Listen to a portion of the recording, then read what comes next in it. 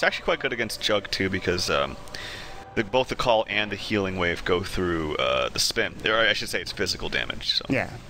It's really, really, really nice to be able to lock him down and be able to get him killed early on because other, otherwise it's very difficult to kill this Juggernaut. Honestly, in an aggressive tri lane, it works really well. You talked about the, the Shadow Wave damage. It's actually ridiculous how much damage that Shadow Wave can do even early on in the game. And they're actually going to pair it up with an Invoker as well, which will more than likely be a Quas Exort Invoker, so Sun Strikes are going to be critical here. Um, and they'll just be sniping people around this map. They have this global strategy with the Invoker, and now they really, I think, because they have this Dazzle Axe Tusk combo, they'll probably need to pick a solo hero as well to, to follow this up with. So basically, a known, and they know what they're going to get into right now with this combo. The question is, how do they play against it? Yeah, I'm wondering what they want to do. So, typically, when you're expecting some kind of axe aggression, whether it's an axe dual lane off lane or an axe tri lane, where they're trying to, you know, cut creeps and just be up in your face and be really, really annoying. There's a couple ways of going about it. One is you just dodge it and you get some kind of hero that just can get away. So for instance, if they wanted to solo Quap up there, and just they know that Quap won't die, um, the problem with this this idea is that normally they take your tower in three minutes, and there's nothing that you can do. Unless you're like, crap, let's rotate heroes. Well, if you're going to rotate heroes, why not start tri-lane to begin with? So I think the best thing to do is, and it's kind of scary now because they've already drafted the Juggernaut, is to try to pick as many ranged heroes as possible. Uh, in fact, I saw Ninjas in Pajamas do this strat against someone not too long ago. I think it was Empire, actually. I forget mm. what it was for, but they were playing against Empire. Maybe it was even Star Ladder. Yeah, where they ran, there was an axe tri lane, or axe in the lane or something, and I think they actually ran it aggressively, but that's still the point still stands that they ran like Viper, AA, and like Venge or something like that. Just really strong ranged heroes with tons of damage, and it really owned hard. Um, so I, am kind of scared right now for basically unknown because, especially with that Tide pick, because that's going to be probably offlane. That means Venge and Juggernaut safe lane with some other support. That's very weak against an Axe tri lane. Vengeful Spirit's already got low range. Juggernaut is a melee hero, which is already a problem against Axe, and you can't rely on Blade Fury to get out of Axe. So, a little bit scared for basically unknown. I, I think they're going to need to try to change something up or do something different here. Yeah, this is going to be dangerous, honestly. We saw what can happen in the beginning of the game. Juggernaut, even if he gets farm later on in the game, I mean, at the beginning of the game, Juggernaut actually really needs to get off to a good start because Ninjas in Pajamas could just snowball at that point. He won't be able to Omni Slash. You won't have, you know, Saint's Phase and a Mask Madness to help out as well. And then, you know, Invoker gets farm, he starts getting items, and that becomes scary. And I, I don't really imagine seeing this Venge or Juggernaut being useful if they get aggro trialing again. So they have to pick up a really good last support here, and even that seems kind of, it's going to be rough. And you know, Ninjas in Pajamas, they make sure they get rid of those ranged shears. They got rid of the Viper like you talked about, and the Ancient Apparition was, in fact, that last ban as mm -hmm. well. So yeah. that's really smart coming up from NIP. The AA was the AA ban was pretty good too. I, I think I'm trying to, you know, get into the metagame of Axe here because Axe is so popular. What's good against Axe? And there's a couple things. Um, like I, like I talked about, Viper AA is not bad. Uh, Anti Mage is actually really good in the mid to late game because if you ever go on him when he's popped his Manta, or even if he hasn't, you just burn all of Axe's mana and he can't really do much. Um, but as far as the laning stage, I actually think uh, Shadow Demon is really good against X. Um, for the one reason to kind of disjoint the combo that's coming out, but two, if you just uh, just put the disruption on X and throw those uh, illusions at him, they actually hurt him a lot because they can spin too. Uh, and then of course the ultimate's very good at all stages of the game. So I'm wondering if Basically Unknown go for a Shadow Demon. They need another support. They, it needs to be a ranged hero and it needs to be something that can deal with Axe. So I, I would suggest Shadow Demon. Yeah, it's certainly a possibility. I actually would love to see a Shadow Demon. He's woefully underused in the current metagame, I'd mm -hmm. say. He's picked occasionally in, uh, in certain situations like this, but We'll have to wait and see for BU. For NIP, they need, uh, let's see, Tusk support, Dazzle support, Axe in the lane, Invoker. Yeah, they need that solo here we were talking about. And Assu assuming they go aggro Charlie. I'm, right. I'm, assuming it's just because I've seen this before and it was so damn good. And that, that could be it, the solo short clink. So we don't know for sure, but that's what uh, I think we both presume. Yeah, that you could also dodge the trialing for Basically Unknown, and that might be fine, but at the same time, you'll probably just see musical lanes coming out from these two teams. Someone will go you know, in one lane, they'll switch that around and they'll just try to dodge and maybe even try to, if you're in Ninjas in Pajamas, match the tri lanes. So we'll wait and see how that does pan out. Yeah. It's going to be kind of interesting early game, I'd say, for both teams. The scary thing, though, about dodging, like I said, against Axe, especially when they go aggro, is that that tower will die so fast because yeah. you can always just cut the wave and then you have no you you literally have no waves to support your tower, and so that tower will die in a matter of you know three minutes at max if they really want to push the issue. Lina here it's not bad. It gives you a lot of range with the Dragon Slave for harassment, um, but if she ever gets caught, she's dead. like, her stun is very easy to dodge, especially in lane, just because it's so slow. And uh, yeah, I mean, I, I, see what their idea is with the pick. It's a long-range nuke, and she has a very, very long-range attack, actually. But I'm still a little bit worried for uh, that lane. Yeah, I mean, the base damage isn't that high from a right click. Uh, it's really just coming down to setting up uh, a stun with the Vengeful Spirit, Magic Missile followed up by like a Light Strike Array or something, and hope that you can get multiple heroes and do a lot of damage, but that's difficult because I, I just feel like Lina's fine, but they might have been better off going for Disruption. If the Lina doesn't get caught, you can Light Strike Array to stop any sort of regression coming out, but it's difficult. This is not going to be an easy lineup for Basically Unknown to play against, and NIP should have a pretty good time. This Clinkz could also, if they give him a good lane, or if he gets enough uh, solos in terms of experience, and he could just absolutely go to work on some of these heroes as well, so... Mm -hmm. We'll see how it pans out, and I think basically knowing they're already off to kind of a tricky start here with their draft the way it is. Well, it looks like it's going to be an off-lane co-op for Sexy Bamboe, as I'm pretty sure he's their off-lane player. He's got a sentry and he's and a ward, and he actually gives. Oh no, he's getting a pool too. They're they're like indecisive about what they want to do down here. And they're and wasting a bit of time with me. They are. Look at them. They're just going back and forth. All right, he's got he's got his pool. He's ready to go, and I think they are expecting. Um, the Clinkz to be solo short, which is why they want the Quap to go against him, which is not so bad. And then bottom, it looks like it may just be dual ancestor. I think that maybe Handsken just walked up here to place a ward or something. Yeah, I think so. And then he'll but, just walk uh, back down. He has boots versus as well. I would very, I would be very surprised to see Tusk not in that lane bottom. Yeah, me too. Um, but we'll see how this pans out. Honestly, this is there's a stat that Moppax posted earlier on in this week when we saw another off lane or like safe lane quap. There's a stat that's like ridiculous that the safe lane or side lane quap has like one win in 6.83 or something ridiculous. Mid lane yeah. quap has a pretty decent win rate, and then save, safe lane or off lane quap is just not doing well at all in this current meta game. I actually think offlane quap is really, really good, though. I just think either A, people, oh, actually, there might be some action near bottom. And they gotta Four go and Seal, Seal Kid going the wrong way, but they don't chase him down. Actually, Paris is gonna be blocked off, or Fan rather is the one that's blocked. Magic Missile Gust, they're getting first blood here. The spin goes in, and already this form of aggression coming out. They get an easy kill with Maomi picking up first blood, and they just were not expecting that for NIP. So this tri lane gets off to a rough start, honestly. They were just there was miscommunication about what they wanted to do. Like the Axe wanted to stay and fight, the rest of them wanted to run just because I think they knew that their numbers were or they were outnumbered just because the mid player of uh, Mind Control walked down there. So, yeah, they just were not all on the same page at all, clearly.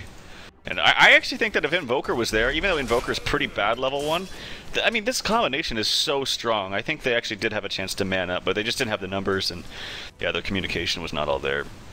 We'll see what this gives them for basically, you know, they got a little bit of experience, a couple of, uh, a bit of gold as well, and honestly, that, that's not bad to start off with, but how will this tri-lane progress against the aggro tri-lane? Because we talked about how deadly it is, and I don't really know if Saksha could actually get any farm here on this Juggernaut anymore unless they pull, so... Yeah, they did pull once. It looks like it's going to be a little bit disrupted here. Actually, they only pulled half the creep wave, so they actually lose the creeps. That's really good for the Radiant side. Solo mid Quap has 49% win rate in 33 games, so it's not even that uh, that impressive in its own right. But they need to wait for the axe to hit level 2 to, to do anything in this lane. They need that call. Yeah. Going for the counter helix obviously gives you that extra bit of damage, but until you hit that level 2, which again, aggro trialing, you're not going to get the most experience unless you're getting kills. So it'll take some time to get them some levels, but actually, Mind Control in the mid lane doing very well for himself with 10 last hits, Ape Mother's sitting at just a measly 5 currently. Again, Exort Invoker will have some decent damage in a bit, but for now it's kind of low. Meanwhile, Sakshika going to work against Seal Kid. As it stands right now, again, we'll have to wait and see how the other lanes go up, the solo lanes. I think Clinkz could do pretty well for himself in this top lane. He's got 7 last hits, but the quad Bamboe is having a fantastic Whoa. time with 10 last hits, so... Yeah, he's actually doing very well.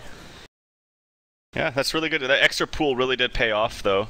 He's actually burned through all his regen, so that's five trees in total right now. Um, so that's that's very good for him. He's got his bottle on the way. And he's actually got a sentry ward for the Clinkz too, if he can get him low enough. Although Clinkz does have some good regen too, so it's beginning to even out in this top lane, but that's really good for uh, for the Radiant. Like this, this is a lane that they were expected to lose badly. Yeah. And then the mid lane, as you mentioned, the, the Tide's doing really well.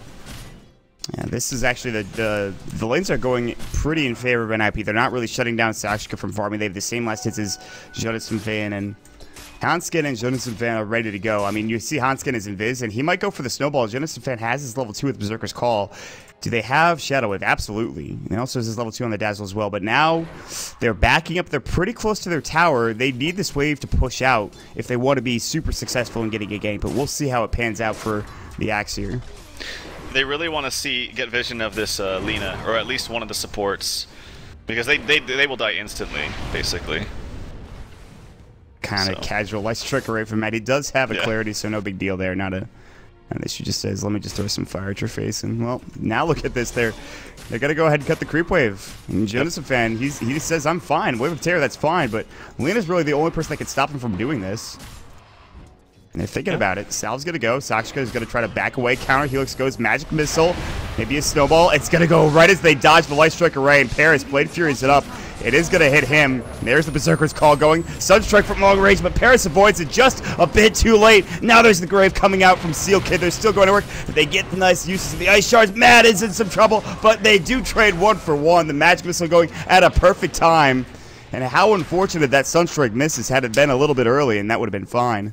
Yeah, he's also gone for only two into Exort, so it wouldn't have even done that much damage. I'm surprised he didn't go for three Exort for extra global power. But yeah, he, uh, I mean, the call is only level 1, I believe, so it doesn't oh. last for very long. So oh, Era, gets a solo kill, and he salves up, and actually avoids a lot of the Shadow Strike damage. Oh, that is huge. Bamboe was having a heck of a lane, but that, that hurts a bit, so...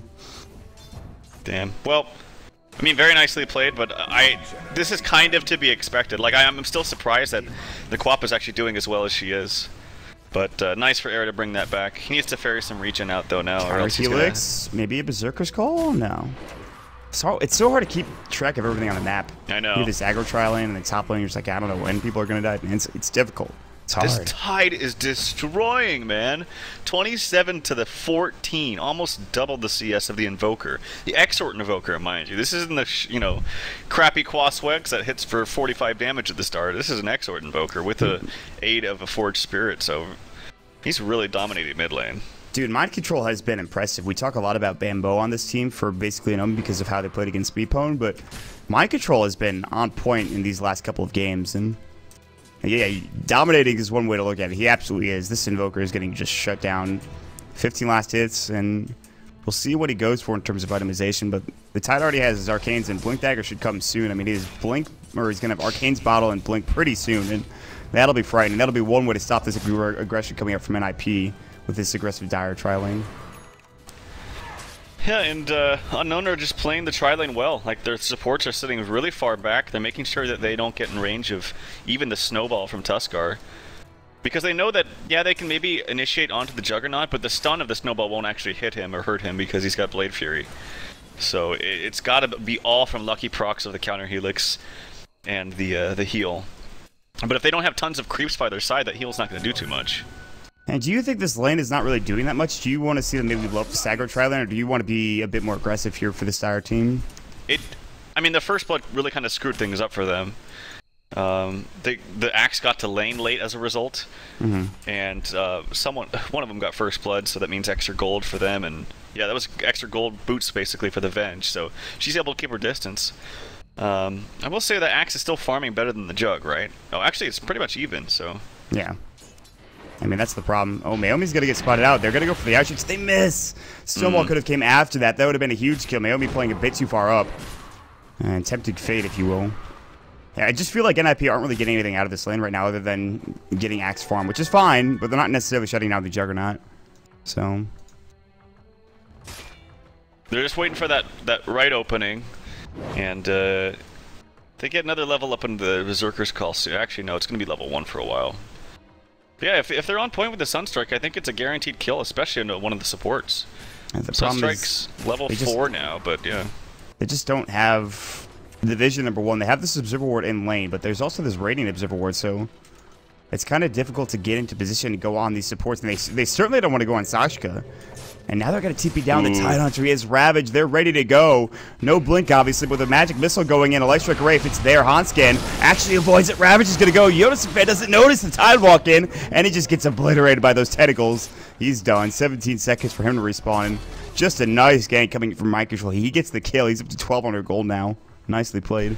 Yeah, nice rotation. And the, the thing about those kind of rotations is usually it's like, oh, well, space created, our Invoker's farming. Well, he's actually not farming very well. He's still got 27 CS in 8 minutes. That's pretty bad. So Ape Mother really not connecting with CS or just getting outplayed here in the mid lane one way or the other just does not have the farm he needs to have. Mm -hmm. Setting up top room, it is an illusion. Bamboe scouts it out. Unfortunately couldn't refill his bottle. That would have been huge for him, but he's still 30, sitting at 31 CS. Oh, Sakshika, there's the Sunstrike. The Berserker's Call goes as well. The Blade Fury, and look at that! The Light Strike Array, or rather the Dragon Slam, just destroys the Dazzle. They're going to get the axe as well. What a disaster for NIP early on in this game. They wanted to go on the Juggernaut. They wanted to see how it turned out because, you know, the Blade Fury is good, but it, the Sunstrike will pierce it as well as obviously the, the physical damage, but they just didn't do anything to him. He was fine. Yeah, well, they're going to have to rely on their solos, especially Era, to pick this one up for him, or for them. 53 CS for him. He's got Treads, Aquila, so if he wanted to go for an Orchid, it's going to be relatively late, all things considered. I know his CS is good, he won his lane, but he's gone for a lot of utility items beforehand. Mm -hmm. And so for now, yeah, he'll he'll be not necessarily a factor, at least for a bit of time. And the save could be something Invoker, especially because I think he's going for a Midas. So this is just, and Naomi's actually roaming in with the smoke, and they could easily get a kill, although no Ravage for 50 seconds. Invoker's not the tankiest guy in the world, so they might be able to bring him down. Top lane, though, Bamboe getting roamed down here. Era's looking to right click. Well, actually, they just blew up that aggro trial lane. They know that they've, they've got a lost cause in that, in that bottom lane, so that's a problem. Yeah. Tusk comes down here to try to get some free experience and maybe some farm. So, if you can get level 6. Have you played the new Tusk, by the way, with the ultimate? It's so annoying. No, I haven't. Like, he used to be able to just press it and it was, like, activated. But mm -hmm. now mm-hmm. you have to, like, press it and click it. I, oh, it bugs the crap out of me. It's one of those small changes where you're just like, oh my god, why? Why did you have to do that? But yeah, like I, I tried it, like I pressed it, and then I would like attack someone. I'm like, why is my ult not working? Uh, actually, look at this Lina sitting up here. Era is not spotting her out at all. Oof. He's uh, he might get jumped on here if he's not lucky. He has a death pack, so he's pretty tanky. They have a dust. Yeah, they do have a dust on Quap. Oh, light strike oh. missed though. That was just kind of a random throwing out light strike, saying, "Hey, let's get this kill. But no, Bamboe couldn't really get there in time with the, the Shadow Strike. And Era actually is just sort of shadowing Matt, who leaves the lane. And 5 to 2. Now Sunstrike's going to go. Actually will not hit. Bamboe he, blinks away just in time. Era went way too early. If they actually wanted to get that kill, he needed to wait for the Sunstrike to actually hit. Yeah. Wrap from Handsken. Handsken actually has a haste rune. But Bamboe is not going to get caught by this. They don't have an Observer Ward top rune spot, though. Yeah. look at this Ancient stack coming out. This Tide is going to be freaking farm, man. He's gonna have his blink after this ancient attack, no problem. He's gonna have a blink in like 11 minutes. Do they know that the Tuskar is here? He's just kind of sitting out by no. himself. They don't have a vision of him, not right now anyway. They will pretty soon, I imagine. Well, I don't, I don't think Tusk can kill anybody, no, so he's yeah. just gonna reveal he's himself, gonna, and that's he's gonna, gonna walk away. He's gonna get Gush, and he's gonna walk away. Handsken is just gonna get chased by Control bit, and then uh, Actually, I don't know what's happening. Handsken's just like, I'm not afraid of you. If they get any other hero there, he's probably just going to die, though, so he's got to be careful. Yeah, I Maybe wasting Tide's time, I guess, is what his plan is. This is going to be so much gold, though, for the Tide. I think he wanted the experience of the stack. But now this is going to hurt him. Shadow Strike, Gush. He's going to pop the Sigil. Sonic Wave just blows him up. Yeah, Damon's like, listen, no, forget this. Sunstrike, it's going to hit, but where's the follow-up? There's going to be the uh, Battle Hunger going in. The Scream of Pain, Era right clicks once. The low ground miss, not that it matters. The Battle Hunger will clear it up, and Jonassomfan gets the kill. But while that's happening, Tide does finish up the Ancient stack. Where he's finishing it up. His Blink Dagger's now done, and that's pretty nice. Definitely not worth it, though, for Nip. They're about to lose their bottom tower. Or at least getting pressured a lot. Handsken will TP down there. And you still have Tide taking the stack.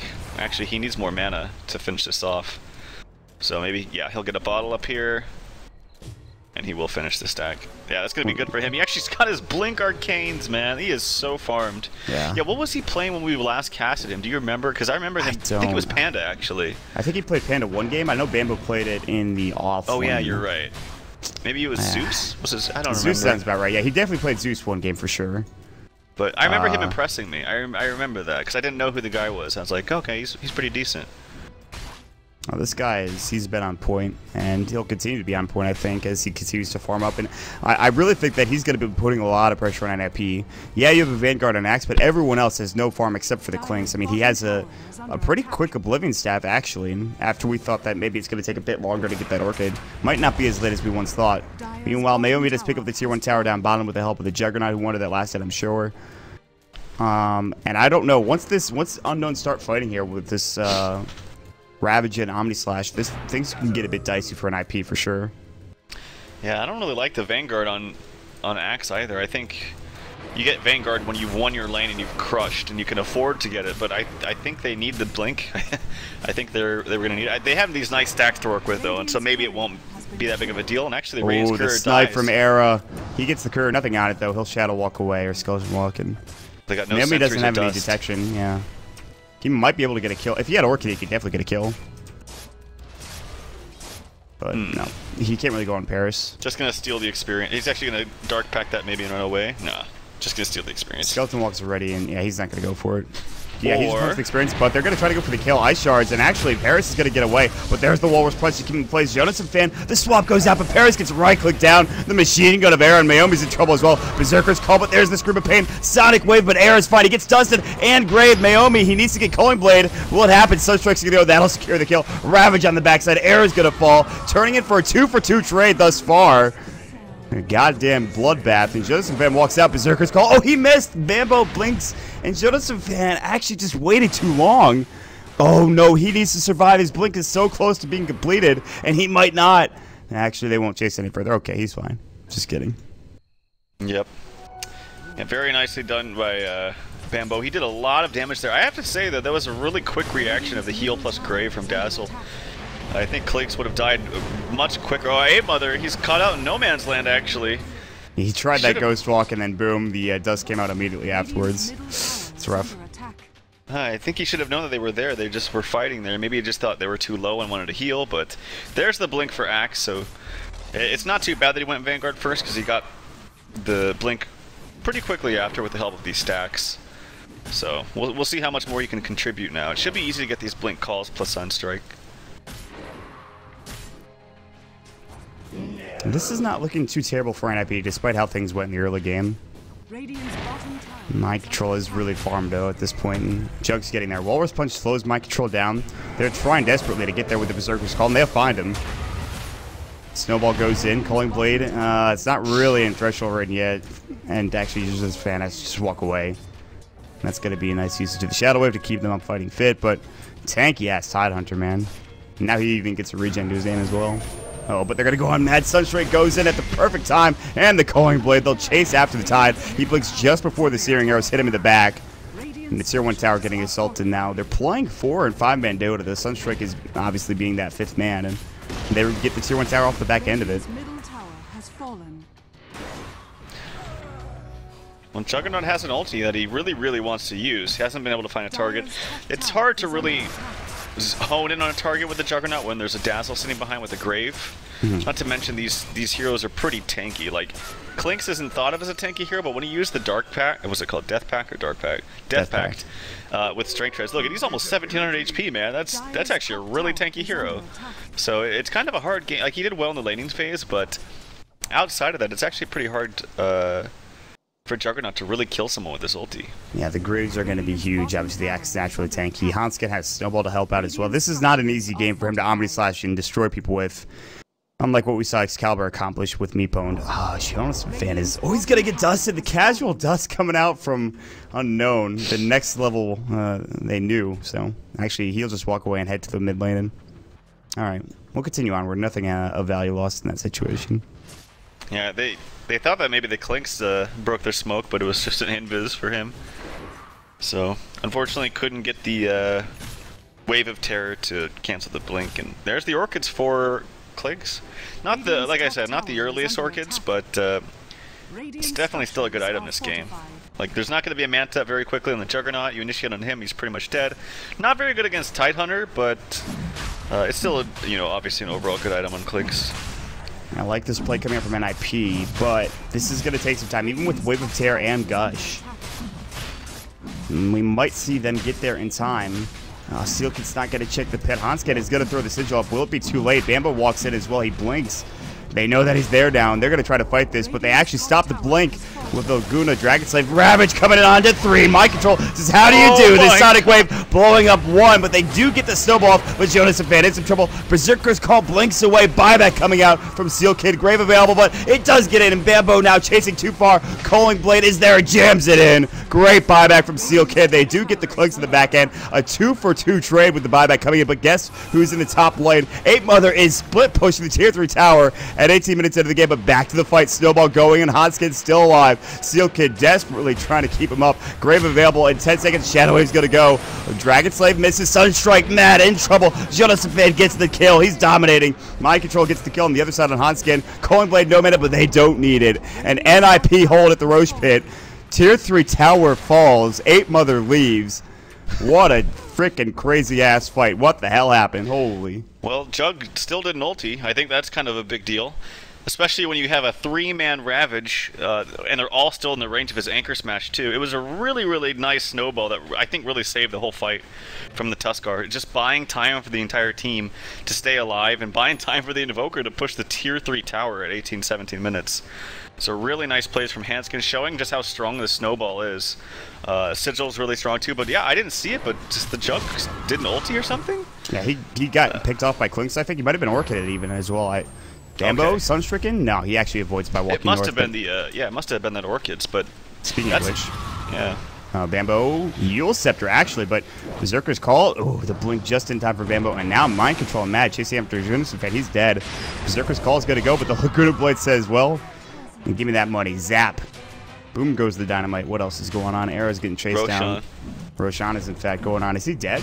Oh, this is gonna be close. This is gonna be close. They're gonna get it. Arrow picks up the Aegis and the snowball. The AoE disruption is real. Walrus punch onto Paris, but look at this damage coming out. There's gonna be a scream of pain. and There's gonna be a miss on the subject, but finally Omni Slash gets off. Van just bought back, but he gets graved. One coin blade. The second misses. Naomi's still getting chased down. Berserker's call. He is gonna fall. Two dead. Air chasing after the light strike array. Mad TPing away. Meanwhile, Mind Control. Ape Mother battling out. Bamboe using himself. Mad control getting oh orchided, but he actually Kraken chills it off. Bamboe's gonna fall. Double kill for Ape Mother. Era still chasing after Mind Control. Another searing arrow. He's low. 200 damage, 200 HP left in his pool, but actually he'll get out. He'll TP away. Still though, the fight goes in favor of NIP. And uh, they are running out, basically, you know, and they're getting these victories. Yeah, man, the, the Tuskar snowball with Dazzle is so strong. It's it's really hard to kill anybody and actually focus someone down. You they don't have they need to burst someone with Lina ulti, but she already used it there to get that to finish off that kill on the axe, but like we saw, I think he bought back anyway, so it didn't really matter too much. My lord, the mech and the Ravage coming out. Air does have, of course, his Aegis, and he actually, they don't have detection. Oh god. Oh, oh, He no. actually revealed himself. Why did he do that? And the Laguna Blade to finish him off for good Now they have That's the detection. That was a big misplay. Sentries down. Light Strike Array. Era actually gets blown up. Now there's going to be the Berserker's Call. Is there a Culling Blade? Naomi sticks up and stays alive. Jonassomfan might not be so lucky. He has the Blade Mail, but there's no follow-up coming in. Dazzle finally TP's in. Weave, but Mind Control does blink away. And in the past five to ten minutes, this game has devolved into Man Fight Central, where teams run at each other and hope for the best. And it works out for NIP for the most part. But they did lose air there. That was a really big misplay by Era. He just attacked for no reason. They didn't have any sentries. They maybe he thought they did, but uh, yeah, absolutely uh, was a freebie there from him, and kind of puts him back into this game because if you look at the net worth, it's pretty much all Nip except for the uh, the Tide Hunter is very very farmed. Jug has really not much at all at, with just a Mask of Madness and Yasha. This is not where you really want to be. And if you saw his last ulti, it wasn't that impressive. He was onto an axe that's pretty damn tanky, and it didn't really do too much to him. So he needs more items, and it's pretty much all up to this Tide Hunter. And actually, I will say Bamboe is doing a ton of damage. He's going Axe 2, which I think is a very good item choice. I like Seal Kid is. I don't know what you're doing here, buddy. I mean, All right. I don't know what he thought was going to happen, but Hopefully not that. Nice shards go and actually connect on Mind Control. EMP going in. Blink Berserker's call. Paris is here. Omni Slash is going to go. But look at all these summons taking it up. It does no damage. Sonic Wave comes in and blows up three. Nobody dead yet. Handsken gets the snowball off. Unison fans still chasing after some heroes. So far, one for one exchange. Well, Naomi in trouble now. They actually get Handsken. Culling Blade onto one. Now Bamboe getting Berserkers called the Deafening Blast. Can they get two? Bamboe actually stays alive because the Culling Blade misses yet again. Air finally rotates in. Orchid's up in three seconds. Bamboe has Blink ready to go. Chasing after him is bad. Blinks away, but Era is still shadowing them. He could dive then and get the kill, but he's not going to. Uh, Turns into three for three. Actually, Jonassomfan chasing after Miss Lina, but she's pretty speedy. With phase boot, she'll back away and more fighting and an even trade. Yeah, uh, again, a really dismal Juggernaut ulti. That time it was around four creeps in addition to two extra heroes, and then after he ulted, he ran away. And there was two heroes that got stunned, and I don't know if they were ulted from Quap, but they just took a ton of damage. And had he just stuck it out and sat there with either a Blade Fury or just auto attacks, I think they would have died, and and it would have been a much better exchange. So, um, yeah, I think he's playing a little bit both too scared on the Juggernaut, but also not finding the the most optimal ultis. Although we did talk about it, it's kind of hard because it's not the best Juggernaut game, to be honest, in the mid game. Bamboe, Berserker's call, but I think Genesis Van is dead here. Yeah, the, the Lina just pops up the Dragon Slave, and Bamboe comes in and gets a pretty big kill, and he's very close to his ag, so... And this is something that Bamboe has to, you know, declare to his team. Is like, listen, we can get these kills if you stick around for Sonic Wave, especially after my Ags is completed. Like, mm -hmm. it doesn't matter what kind of Omni Slash you get off. Like, until there are BKBs, NIP might not be able to survive the onslaught of Basically Unknown. Yeah, absolutely. Uh, I will say Bamboe has been really impressing me lately. Like in the last series that we watched him when we cast this as well, like he's been playing very nicely. Got a lot of farm. It, like he was doing well up in the top lane when he really shouldn't have done as well as he did mm-hmm. against uh, what I think is to be a, a, superior laner in the in the Clinkz. Just Clinkz does so much damage, but I think Bamboe realizes he has a lot to prove, and honestly, within these last couple of series alone, he's just he's shown a lot. To, I think a mm-hmm. lot of us. So I've been impressed like you, and we'll see how he carries on this play as uh, this game continues. It's only game number one actually, and we've already had a pretty solid game between these two teams. So see how yep. finishes it off. Blink Dagger on Tusk. This is when things really change for this hero and he comes to a whole new level. Uh, it becomes very, very easy to actually get into position to save people with a snowball now, whereas before you kind of have to like stand nearby. You can't really cast spells aggressively or do your own thing because you have to be so close to make sure you save somebody. With a blink, it kind of solves those problems because you can just blink from anywhere and immediately snowball to save your teammates. So, yeah, this is when the whole new level of Tusk comes into play. Yeah, this is this is where the skill cap gets a bit high and it's very difficult for anybody to stop a snowballing Tusk at this point. I mean, if he can get in and snowball, you pretty much save your team and reset the fight, get a stun off, heal mm-hmm. up, Shadow Wave, and you're good to go. And I mean, the Ape Mother with a Necro 3 now, he has a Blink Dagger as well, but this is where it's going to get difficult. The Sonic Wave for Bamboe now that much more potent. If he gets level 3 ultimate as well, oh god, it's going to be ridiculous. The cooldown obviously decreased, the damage increased. You know, we'll see how yeah. this pans out. The cooldown is the biggest thing. Just having 40 second of, or you know, only 40 second cooldown of being able to spam it out basically all the time and be very, very liberal with it. So you can basically cast it twice during a team, uh, team fight, whereas before it's like you only get one shot to not miss that chance to throw that opportunity, yo. Oh my lord! I don't know. It just kind of, I don't know. That was really. It lame. just happens, it just, man. It just Listen, just, I had to go. When you it. cast, you have to let it happen, ladies and gentlemen. Drop the wrapper. Oh god, you can all fail fish that because I damn well deserve that. No, dude. Embrace your inner Eminem. It's fine. Walking up top is mind control. Mad with him, shadowing him, being his bodyguard, and they're gonna try to finally take this last tier one tower in the top lane. Ape Mothers nearby actually needs to kind of leave. He realizes this. He gets out. Bot's done now as well. Blink Dagger bots. Uh, Midas Necro Book, and he starts using his Alacrity because, of course, he does have two points at the Wex. He can even bots down bottom if he wants to. This 2-2 tower should fall. Actually, they're going to glyph it. They're going to have the Tide TP, and they see him with the Ice Sigil. That's the problem. Mind Control just TP's right on top of it. Sigil's so damn useful. Yeah, the the good thing is, I wonder if Sigil actually affects Juggernaut before he ulties. Like, it, it, makes him invulnerable, though, right? So yeah, I don't think, I think he, so.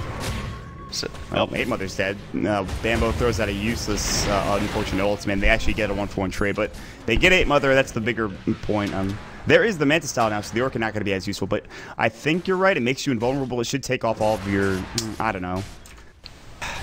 It's but it's honestly. like, yeah, I don't know. I don't.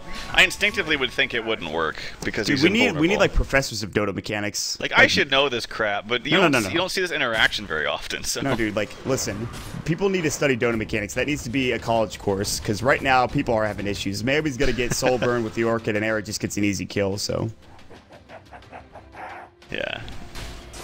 But uh, mind control getting really, really huge too. Like has the gem, has the mech completed, and just about 4,000 gold. So I presume it to be a refresher. But if he wants a refresher and to be able to cast mech and double ulti with all his other spells in between, I think he needs more mana. So Yeah, might even want to think about a Shiva's. Force Uh, staff even might not be a bad idea. Force staff's not bad, but they're like this is very physical damage base on Nip.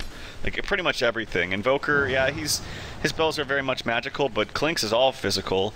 The heal is physical. Axe is all physical. So I, I could see a case to be made about Shiva's here. I think Shivas is a good choice. And that, that will give him more intelligence as well, whereas the Force staff gives him measly 10, so. Something to keep in mind. Mind control looking at the Rosh Pit from the high ground here. It's actually about to respawn. Handsken might stay in here long enough. He also could just use Sigil to uh, scout it out, so. Nice. The Odinson fan actually just calling Blitz creep just to get the buff going. That satisfying sound that goes across the screen, and he'll just move at light speed up to the top lane. I, I think Unknown are still in a rough position. They certainly have the potential to come back with the team they have and the items they're purchasing, but this is going to be a close game, I think, even down to the wire. Yeah, it's been it's been fun to watch. Like I still look at the net worth of the three cores of Nip, and it's really really high there. Uh, Era did pick up his blinks, going for a BKB now, which is actually not that. It's good. It's necessary against the the Ravage, but uh, the Sonic Wave still goes through it. That's Yep. one of the newest changes for Queen of Pain, and of course the Jug ulti. He doesn't really care about that either. So while he needs the BKB somewhat, it's also not as effective as one might think. I think just for the Laguna Blade and the the Ravage, it might you, you might have to buy this game. It might be a necessary pickup, despite the Sonic Wave going through Magic Immunity. Obviously, the Omni Slash. I think you have to just say, okay, Omni Slash. We have so many summons. I shouldn't be in trouble from this. Um, Wave of Terror. There's this uh, this war that scouts this out. They're gonna see that Rosh's respawned and middle tower is under attack. Mambo will counter ward it as they have mind control with the Gem of True Sight. But guess what's happening? I mean, Air's going to take this 2 2 tower mid, which is fine. Well, maybe it's not fine. They're backing Yeah. up, actually. They want to go home. Bamboe has no TP. Radiant's middle tower has Um, the rest of them should. Yeah, they're, they're good to go in terms of TPs, but they have to make sure that the Raxes are defended from the, the Necro War. And actually, they're putting a lot of pressure on these range Rax. The range Rex is almost going to fall, taking permanent damage here. And they're they're basically ratting this out. They've pushed top, they've brought them back into the base, and now they move into the Rosh pit. And Unknown, unfortunately, is spread out, so while they want to defend this, I don't know if they have the numbers to do so. That was a very weird grave by Seal Kid.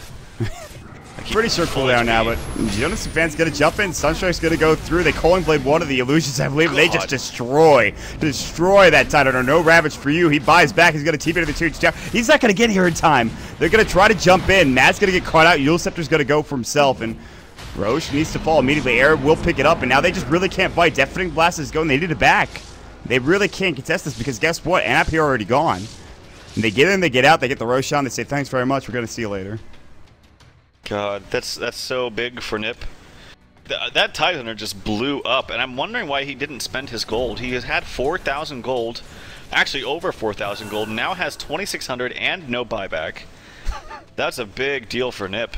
And Yeah. uh, I mean, he how much is a full Shiva's? I think like 4,300 or something like that.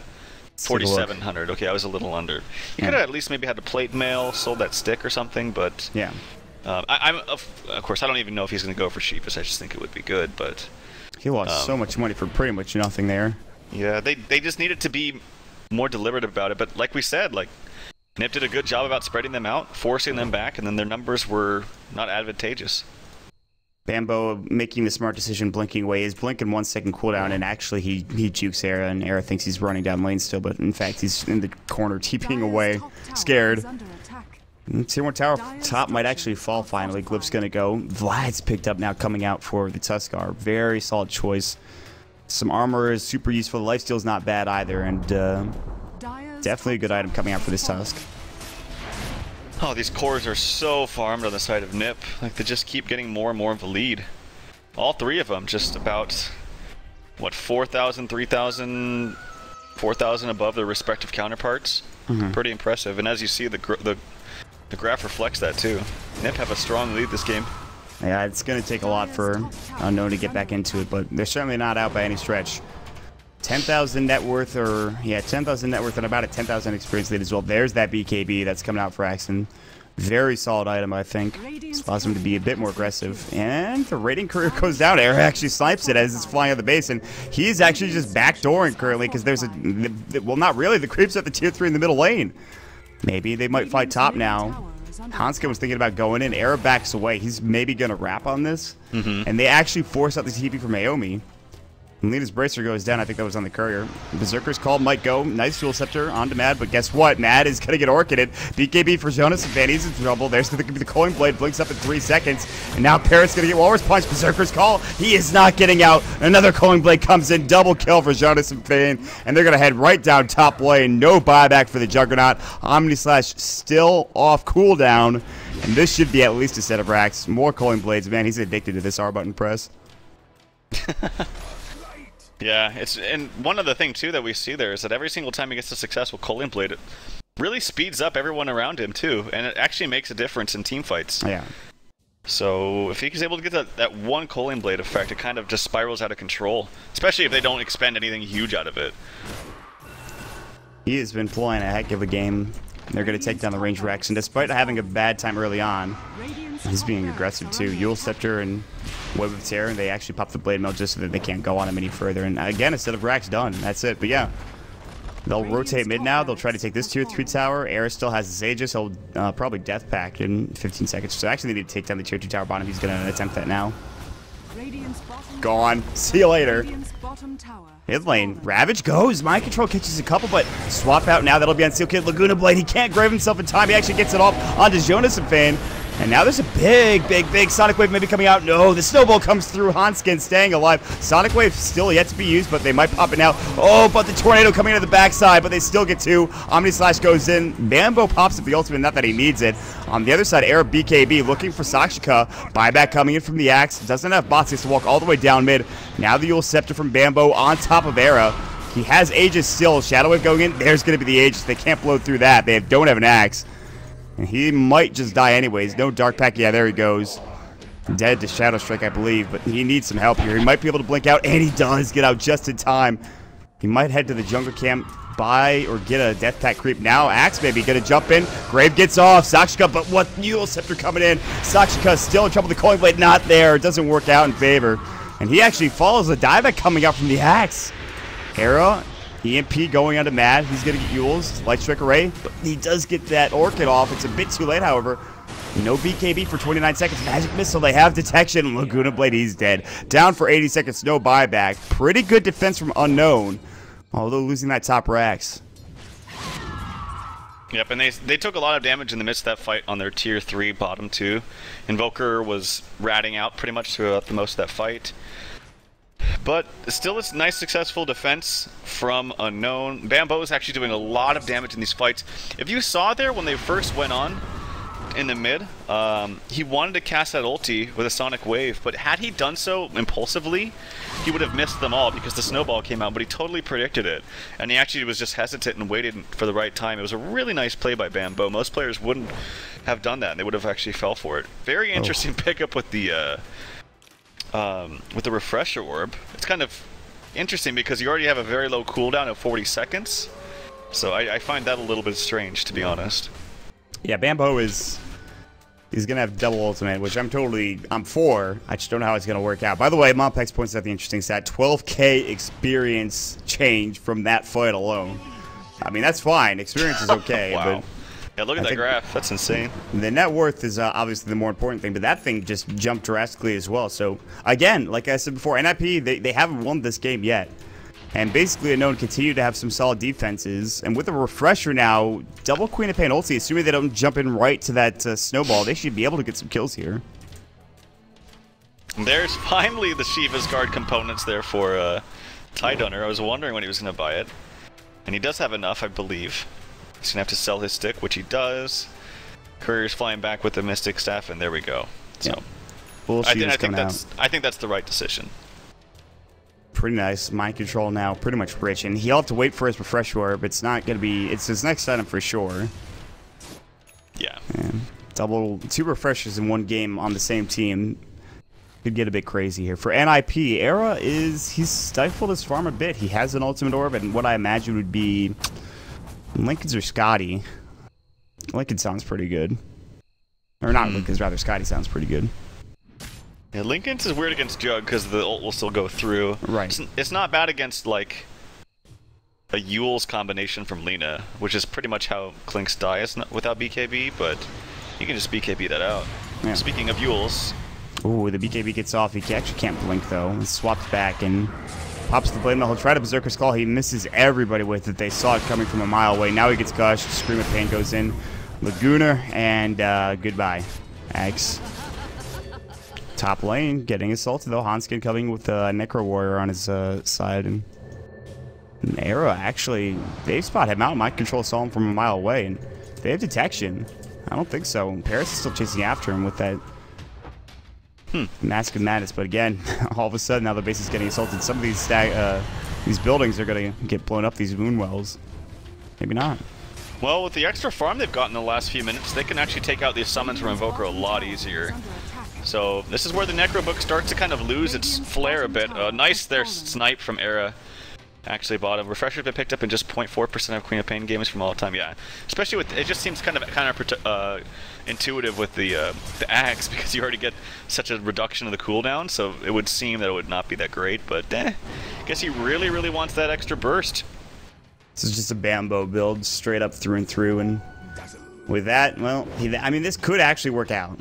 It's possible. It's Yeah, I mean it, it could because Nip is so reliant on their BKBs and their tanky nature, but you know, obviously with the Sonic Wave going through the BKBs, it can kind of catch them off guard. So yeah, as we see here, 1500 or 1150 pure damage. And that's just not for one target. That's for that's for everybody Yeah. in that vicinity. And, and mm-hmm. there's a good chance all these heroes are clumped up if they get a good ravage or, or something. So if they get both of those off, plus ravage, I mean everyone's pretty much dead for the most part. You just have Jug come in and clean up with his Omni Slash, and this is we're talking about the perfect fight though. That's the problem. And no fight is you know that perfect, unfortunately. I mean Sheep maybe. Sheepstick, sheepstick up onto the Clinkz. And that's his choice, huh? I guess that works out. I was expecting a Skadi. Well, that's not it, actually. He just goes for the lockdown. The Hex is going to be pretty useful on a lot of these heroes. And allows him to just kind of get more kills, solo kills even. He might find one right here onto uh, Bamboe. Oh, yeah. He, Oh, he blinks away. He, Bamboe was alone.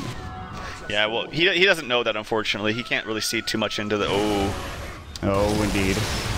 he's Ravage dead. goes Laguna Blade, and he just dies. If they saw that that sheepstick on him too, they know he doesn't have buyback. That's pretty big. And Rosh is about to respawn as well. And this is very difficult to contest for NIP without Era. They have damage, but it's just not as much. Mind Control blinks to the high ground. Jonassomfan thinking about counter blinking. There's no Ravage up. And they won't go for the kill. So Un- Unknown need to play this really smartly because they know that they, they should have a good idea that Clinkz doesn't have buyback. They need to push out the lanes, but they also need to be careful that they don't take a fight when Clinkz is respawning because they know that they don't have Tide uh, Hunter Ravage. So if it's a 5 on 5 fight right now, I think they will probably lose. But if they were to push out lanes quickly and then maybe go for Rosh, it did just respawn. And uh, they might just take a tower from this and back. Is under attack. That'll be the smart play, but who knows if basically no play it smart. After all, Bamboe's ready to go. He's itching for an ultimate. You can see him on the backside. In fact, two ultimates. He's ready to go. Tier 1 tower, Tier 2 tower. You're going to get clipped. So NIP kind of just saying, well, they're not going to push the high ground, and even if they do, we're going to have Clinkz and we can defend. So, and they know that they're going to back up because guess who's top? It's Ape Mother, and he's split pushing with Alacrity and a couple of. Oh, Bamboe jumps in with the Yule Scepter. There's going to be the Sonic Wave, and Ape Mother is going to get Laguna, and he's not dead yet. He might be able to Ghost Walk here, and Vokes right in a couple seconds. The Omni Slash bouncing into the units, but it doesn't matter. He clears them all up and gets the kill onto Ape Mother as well. And he could have microed that a bit better and had those units stay, but he wasn't that lucky. Wow, this is a nice turn of events in favor of Unknown. Ag Scepter picked up for the Lina, so Oh, talk about more pure damage. That'll go through everything. One of the best Ag Ags upgrades, in my opinion, in the entire game. Um, it's really, really strong. Got a Basher now picked up onto the Juggernaut. really big items coming out. Could this be some 3-2-2? I mean, Nip had a very strength, good uh, control of this game, but it, oh, there's an invis picked up by Axe. Did they have a gem? Yep, there's a gem on the mind control. And Jonathan walks right into the high ground, really without vision. He's going to get graved up. BKB's popped. Graves going to keep him alive, but he is still going to die. He TP's out way too late. Uh, I'm not sure what he waited for there. He could have survived had he just used that earlier. Seal Kid now going to get caught out as well. And they're going to the- lose three heroes, including Ape Mother who died top, and they're going to get Roshan. This Aegis is theirs, and maybe, just maybe, some more buildings as well. That was that was an interesting ult from uh, Lina, I must say. But uh, kill secured, so to speak. There's Handsken taking some damage. Oh, man, And he's Lina ult TP dead, but he's dead anyway. Doesn't even matter. He's gonna snowball to buy some time, but yeah, this is uh this is turning into a an actual very good game in favor of unknown. I would imagine right now. They might take this. I mean, guess who's bottom though? Era is actually going to work at the range racks. They need some TPs and they need it immediately. Ape Mother is walking down mid. Where are the TP scrolls? Do they have any coming up from the Radiant side? They have one on Mind Control, one on Bamboe, but actually Eric gets the ranged racks with some rat type plays, and they might even do some damage to this tier three as well in the middle lane. I mean, this is the problem is that NIP they might not have the best team fight lineup anymore, but they can take down buildings like no problem. Yeah, this is why it's very, very important for Unknown to push out their lanes before going for ob- objectives. Obviously, that was still, I think, in favor of Unknown. Oh, speaking of, Naomi's in some trouble. He has cheese. He can pop it in a second. He will be fine. He does pop the cheese. They can maybe turn this on Era now. Yulsip is going to go. Maybe still blocked in. BKB's out. Swap could go, and they won't use it. Cheese is forced. BKB is forced. So about an even, an even change and even trade. So bots now for the Lina. This Lina, what she got farmed quickly. Yeah. She is really, really farmed, actually. She's almost six slotted. okay, I get no. I guess she's almost five slotted. She can sell her boots and her bottle. But uh, yeah, that's really good. Here comes the smoke. Actually, there is a Tython Ravage available. Saxiko, I don't know if he was smoked or not, but he reveals himself. Blink Yule Scepter now going up onto the uh, poor Ape Mother. He pops the BKB. Aghanim Scepter, Laguna Blade, Aghanim Scepter, Bamboe Ultimate coming out, Sonic Wave, and that BKB does literally nothing for him. Yeah, these, these this draft actually totally nullifies the BKBs. The Juggernaut doesn't care, the Quap doesn't care, and now finally the Lina doesn't care, and that's the biggest one. And that's a support Lena, so it's all coming together here in the late stages of the game. Yeah, this is exactly what they want. If they can just keep these lanes pushed out, basically no one can do the impossible. One was once a 12,000 gold lead. Well, unfortunately, Matt's going to get caught. He won't have buyback if he dies. He jukes Era! Oh, what jukes? But it doesn't matter. He walks down and back into the lane and dies anyways. This is going to turn into a team fight. Mind Control might be able to ravage. He has it available. Handsken is going to get caught out. He'll TP away. They just can't find a target to go on. They're looking for Seal Kid. The blink forward. There's the Ulcer from Bamboe to set this up. Era's going to walk mid, going to try to take this tier 3 tower. Uh, Paris jumps in with his right click, gets the kill. In fact, Era is going to try to finish off this melee racks down bottom, and they don't have Glyph on the Radiant side. However, they know that these things get pushed out. They'll head back bottom more than likely. Yep. Yeah, they they do need some ways to push out these lanes quickly Oh, the enough. Omni Slash on the Jonassomfan, but there's no real fault. But now the Magic Missile, maybe there is follow up. The Blink Deck of Naomi gets the kill with Sakshika getting the last hit. And he's dead for 75. He does have buyback, though. But down bottom, Air now going at the top of Mind Control. Actually, it's the other way around. He's caught. They have Gem still. Bamboe desperately trying to get him range. He can't blink forward. And Era actually might survive because of that beautiful Orchid. Bamboe blink forward, scream. Oh, oh got him! he gets the kill. Bamboe with the blind blink scream gets it done. Oh, my lord. Pleasure in that. Wow, very nicely done. And he does have a buyback, but certainly he doesn't want to use it. as he Onskin, won't goodbye, buddy. Dear God. This is it, man. Basically, I know they've won the last, like the five last team fights that have gone their way. Provide them so much gold. They're going to head up to the high ground now using the illusions, and they're going to try to get the sigil. It goes down. Meanwhile, Ape Mother comes in. There's the tornado. The MP definitely blast. Maybe probably dies here. Bots in from Bamboe, but Scares him away, actually. Sonic Wave. The All right, bye. that, See you later. the range on that is insane too. It doesn't look like it hits the units on the very far edge, but despite being four towers down, the Radiant is now leading in gold. Yep, that doesn't surprise me actually. With all these items coming up. But what's Quap now finally built? BKB. Okay, so we're for double BKB, double ulti, double Yules, double bots, double the fun here for Bamboe. Yeah, he's he's having a good time now. The smoke of deceit gank from NIP. They they really didn't use any of these in the early early game at all. So Oh. they actually just they use the smoke. They realize they're behind. Mad shouldn't get caught here. He will. He blinked into the trees. Yeah, he actually will. He's gonna get tornadoed and. Yusuf comes out, but actually avoids the Sunstrike. Blink Oh! the Circus Call, he jukes it, he gets away. Light Strike arrays further into the trees. TP not available for one second, now it is, and he's gonna get out. He leaves. He just says, see ya. That's so good. Very nicely done. The quick Yules and the quick blink right afterwards. Wasting their time, wasting their smoke gank too, which is pretty important in the late stages of the game. Aegis is reclaimed, and it's actually going to be a really long respawn here for Rosh. Four minutes and some change. Oh, they see Era. Arrow. Blink Gush. Omni Slash going in as well. Laguna, they take him down. He does have buyback, so okay, okay. Big kill, but they got to get to the high ground somehow. They got to force out some buybacks. But all while this is happening, you can bet that NIP are going to finish off bottom racks. So, I mean, NIP, or yeah, Unknown have to TP back. They really just can't go for mid right now. Blink Ravage is going to go, but only on a Jonassomfan. Actually catches on Ape Mother.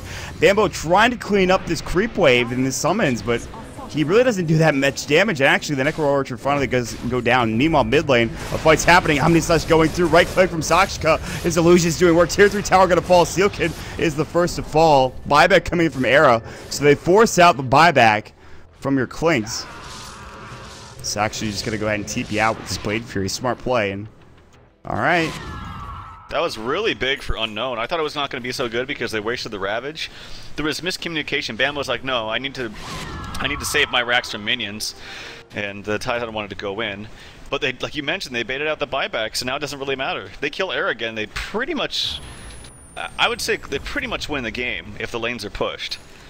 I mean, Air's not even really doing much in these fights anymore. He just gets caught out too much. His PKB's down seven seconds too, so he's got to be really careful. He started off the game with a huge stat line and how he has seven deaths to his name. And if Mind Control was here, he would get caught out and he would be killed. And he's been playing so aggressively that honestly, this is this is dangerous. It is. It's really dangerous.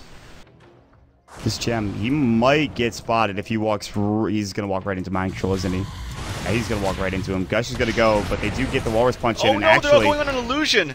Wow, and they actually just coin bladed that. Now it's on cooldown. Mad getting caught out, but the Yules comes in. Sonic Wave not doing that much. Jonassomfan, however, getting right clicked by Sakshika. The second Sonic Wave. Bamboe really wanted that kill. Swap out. Ape Mother caught. Now there's going to be the Omni Slash. Blows him up. Dead for 88 seconds. Who else is on the backside here? Handsken falls. Double kill for Sexy Bamboe. Who else they chasing after? Seal Kid. He is going to get his grave off, but it is all crumbling beneath NIP's feet. They're all going to die with the exception of Era. He'll do his best to push out these lanes, but they actually need to go home and defend. The effigy's gonna fall. No, Mind Control. His effigy is dead. no. Matt comes in. He'll just let Stricker and clear this up, but everyone else is pushing straight down mid. Well, Eric, whoa, that's a buyback Mother. from Ape Mother. They want to go for a kill onto Mad, which they Oh, maybe get, but even if they do, it's not that big of a deal. They don't even get it. Now What are you Mother. doing, this is a Ape Mother? dieback. Why? He realized maybe that he had to make some play, make some space for Era, but that is not the way to do it. He is dead for 100 seconds now, and they're gonna have Bamboe TP into the mid lane. This tier one is literally uh, a breeze away from death. And the Oh, Rax as no. well probably going to fall. They'll even up the Raxes at the very least. Maybe. Oh, Era's gonna get the courier. Nothing on it, but still a pretty big pickup. They're gonna go for the tier fours. Unknown want to finish this game off. Healing Ward's gonna go, and with Bamboe and Sakshika, they might be able to do enough damage here. Era could just walk back home, but this might be it. NIP, they were 12,000 net worth up. Are they going to lose this first game? Basically unknown. They're taking the tier fours now. Seal Kid's back up. They have to try to find a way to defend. Hanska can get it with the snowball. Walrus punch. Ravage comes in from Mind Control, and they are going to kill both of them immediately ASAP. Bamboe gets the double kill with the Sonic Wave, and Era comes in, hexes up Sakshika, but he gets Laguna Blade. He's low. Berserker's Call is going to go. Air is going to fall. He has no buyback. Jonassomfan is the only one alive, and GG finally called. What a comeback. It's finally complete. Basically Unknown take the first game in a barn burner if I've ever seen one. What a freaking crazy game. My God. Wow, that was that was really fun to watch as a spectator for sure. Definitely not fun to play if you're Nit because man, they should have. it's hard to say they should have won it, but I, I would definitely.